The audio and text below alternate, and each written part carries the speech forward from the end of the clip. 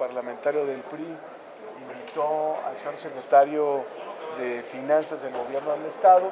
para que nos platicara respecto al presupuesto. Fue una reunión por lo menos de hora y media donde estuvimos platicando, discutiendo los alcances de este presupuesto. Nos hemos eh, y hemos comprometido al señor secretario para que el próximo jueves a las 7 de la noche estemos todos los diputados de todos los grupos parlamentarios para hacer una revisión puntual de las partidas, de la importancia de los planes y del alcance de este presupuesto que tiene eh, solamente un aumento del 5.7%, que en números generales tiene que ver con los, con los compromisos laborales que tiene en el gasto corriente este gobierno. ¿Cuáles serán las prioridades para el próximo año? Bueno, sin duda él ha hablado de la prioridad de fortalecer en materia de educación, salud